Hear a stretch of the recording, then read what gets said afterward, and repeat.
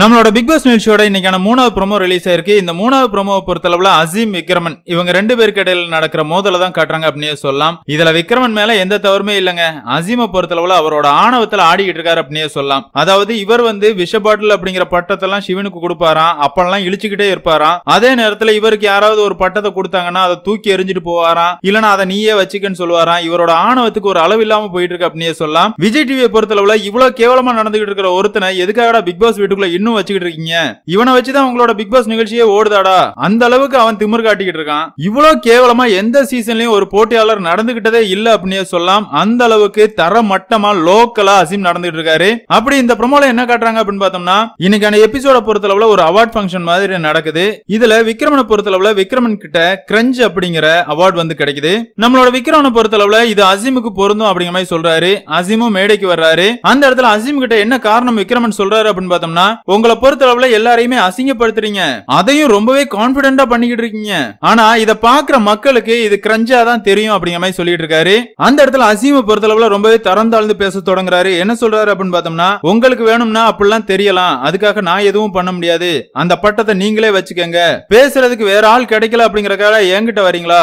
உங்களோட பாய்ச்செல்லாம் என்கிட்ட பழிக்காது அப்படிங்கிற மாதிரி ரொம்பவே திமிரா ஆணவமா பேசிட்டு இருக்காரு.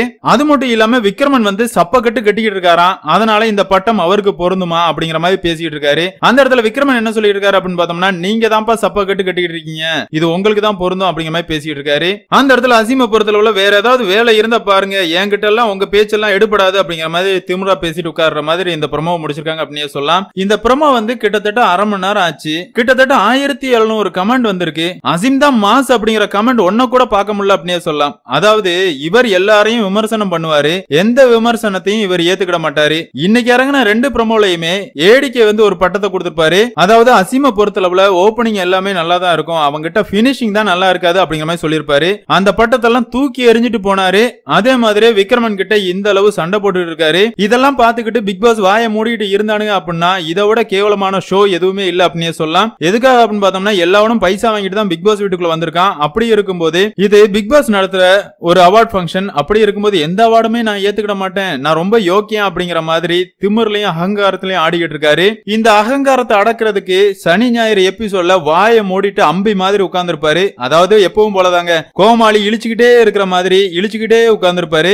நம்மளோட கமல் சாரை பொறுத்தளவுல வறுத்தெடுப்பாரு. இதுதான் இந்த வாரமும் நடக்க போகுது. இவ்வளவு வீரவசனம் பேசுறவன் கமல் சாருகிட்டையும் இதே மாதிரி பேசிட்டு கதவை திறந்துட்டு வெளியே போக வேண்டியதானே இவன்லாம் சொல்லுவான் தானம்லாம் தோல்வியை ஏத்துக்கிடவே மாட்டா. வெற்றி வந்தா ஓகேம்பா தோல்வியை ஏத்துக்கிடவே மாட்டா அப்படிங்கிற மாதிரி பேசுவான். இவன் மட்டும் என்ன கிழிச்சுக்கிட்டு இருக்கான் அப்படிங்கறது தெரியல.